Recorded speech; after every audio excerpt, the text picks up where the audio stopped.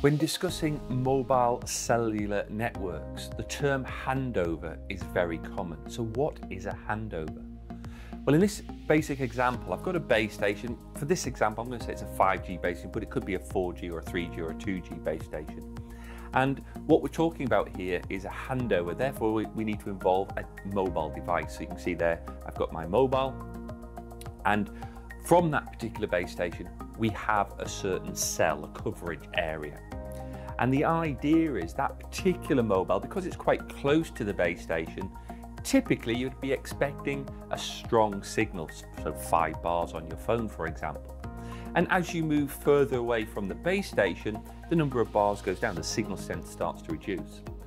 Now, when we start describing the term handover, it's all about handing over from one cell to another. And to do that, that means you must have a connection to a particular cell site. So in this case, I've got a connection to this particular base station.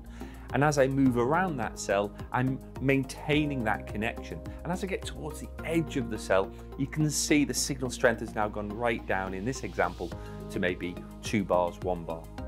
And at that point, we need to think about what, what happens next? Do we just try and maintain the connection and the device just drops off the cell and we drop the call or the session? Or do we hand it over to another cell site? So as part of the radio planning within a service provider's network, we will have cells and the key thing is they need a certain amount of overlap to give you time to hand over from one cell to the next. And that particular cell will have similar signal levels getting stronger as you go towards it. So as we hand over the mobile, the connection is going to be moved to this other target base station in this case, and we can then maintain the connection within that cell. We have performed a handover.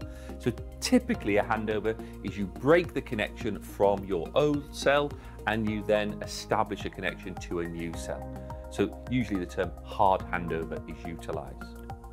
Now it's worth pointing out, whilst on a base station, base stations have multiple frequencies, so number of channels, a bit like your car radio, different channels. So the idea is you might find that you actually hand over between the different channels or radio elements on that particular base station as well. And they could have different cell sizes, footprints. Now the reason we do that is for capacity reasons. So there's different types of handover.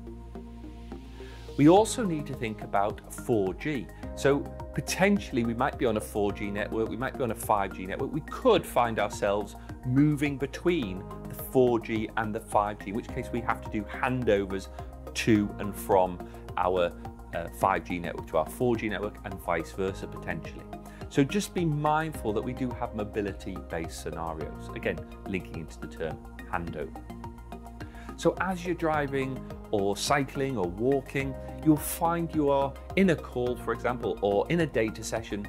And as you're moving through the various cells, the idea is the cells will effectively hand you over. And that could be in a small cell environment. For example, cycling down the road and you could find you're in a call and it's been handed over as you effectively go from a particular cell footprint to the next cell footprint.